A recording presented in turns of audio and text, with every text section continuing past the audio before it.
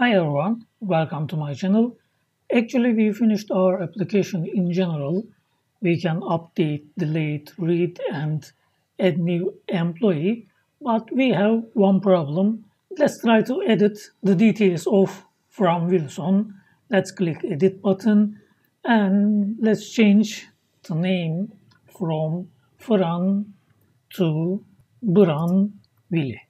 Edit employee, we receive our message and as you can see, we updated our employee successfully. But after we refresh our page, as you can see, our changes has gone.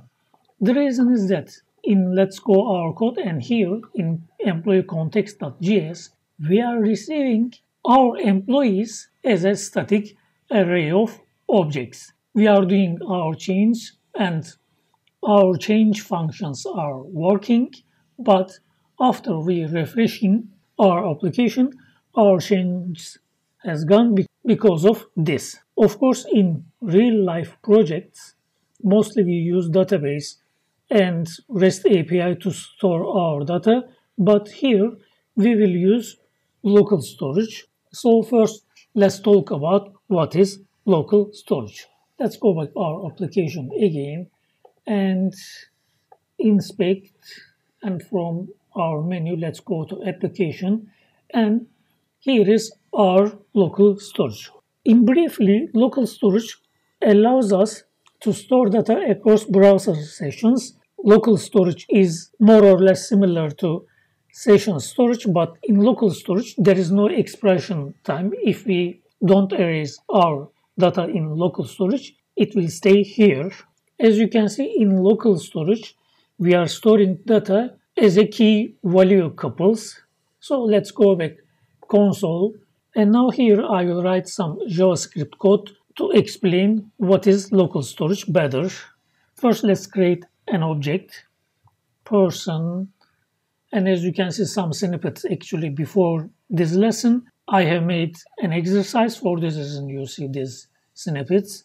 Let's create a person object and the properties of this person object will be name, John Wick, and age properties will be 40 and if we write person to our console as you can see we can retrieve our object but let's refresh our page and try to retrieve again our person object when I click like that as you can see person is not defined after refreshing we lost our person object now I will create again a person object, but this time I will send this person object to our local storage. Again, person person object will be this time I will use snippets and I will send this object to local storage.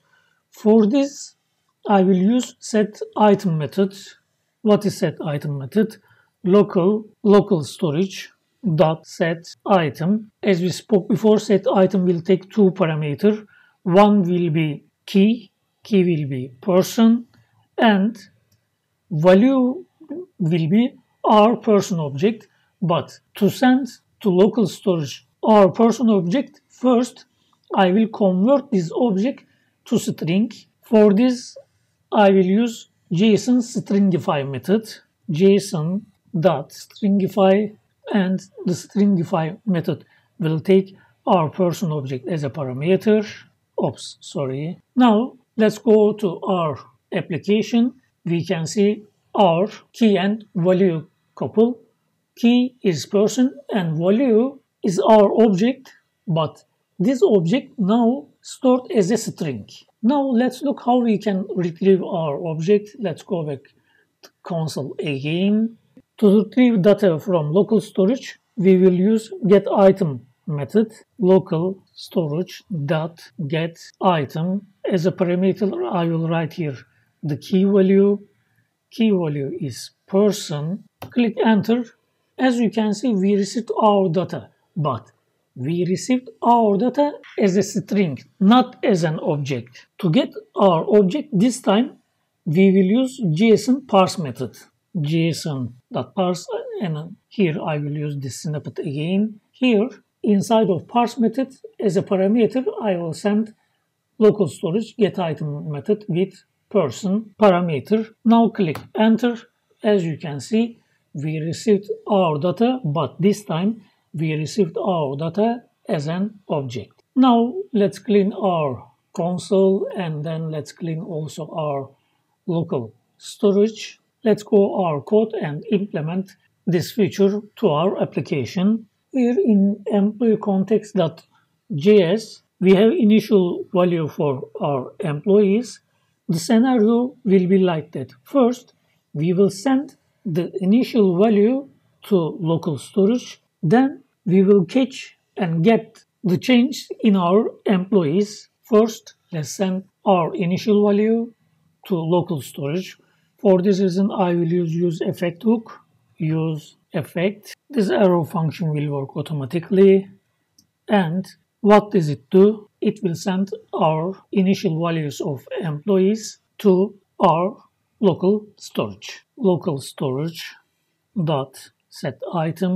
This time key value will be employees. And our second parameter will be json dot stringify. And inside of stringify we will put our employees save the file and let's go our application and refresh our application. In our local storage now we have our initial data as is okay now we are sending our data to local storage now it is time to catch the change in our storage for this reason, I will create another use effect hook and here use effect again. This use effect also will work automatically. This time we will get our employees from local storage. How can we update our data in our application? With this set employees method. For this reason, inside of use effect hook, we will fire set employees, set employees, inside of some employees, we will put our parse data, json dot parse. Inside of parse, we will use local storage get item method, local storage dot get item, and as a parameter, it will take employees. This time, we want to get employees data. If there is a change for this reason here, I will add an empty array, save the file, everything is working. Let's go back our application and let's edit again this Fran Wilson. What we said this will be Brown Willie edit employee and now our edited employee let's go our local storage and as you can see we have updated this data also in our local storage and now refresh the page after refreshing the page, we lost our changes. Let's go to code and why. Oh, the reason is that we are receiving our data and we are sending to local storage and we are always updating the same data. We have to get updated data. For this reason, I will cut our second use effect code and I will paste here. Save the file. Now let's make it again. Go Fran Wilson Let's make this Brown Willie again, edit employee, and now as you can see, our data, our updated data is here. Refresh the page and our updated data staying here. Let's delete this Dominic. I deleted the Dominic. As you can see, it is deleted from local storage also. Refresh the page. Our delete has worked successfully. And finally, let's add new one add new employee. This will be Ricardo Quaresma as always. Generic address, generic phone number. Add new employee. We received our message. And here is our Ricardo Quaresma because we are sorting our employees. And inside of local storage, here is our Ricardo Quaresma. This is the end of today's lessons and end of the series. We successfully created a CRUD application successfully, we will see each other in the next series.